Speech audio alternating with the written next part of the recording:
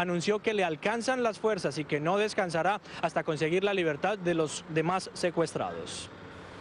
Agradecido con el presidente Hugo Chávez por su compromiso en defender el derecho humanitario a nivel internacional y en bogar por la vida de personas de todas partes del mundo. Muchas gracias, presidente Hugo Chávez, por su compromiso causa humanitaria y con su compromiso con la paz del mundo.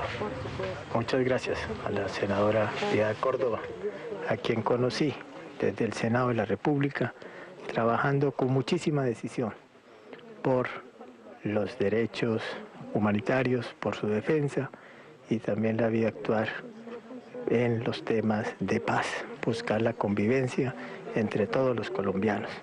En primera instancia, muy agradecido con el presidente Chávez. Muchísimas gracias a su equipo de gobierno, al ministro Rodríguez Casín, que ha estado muy atento de este proceso de nuestra libertad.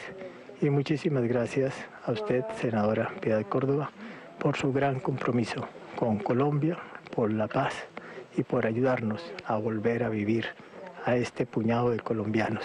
Los invito a que sigan trabajando para que los demás compañeros puedan paulatinamente o de una vez por todas recobrar también su merecida libertad. Gracias.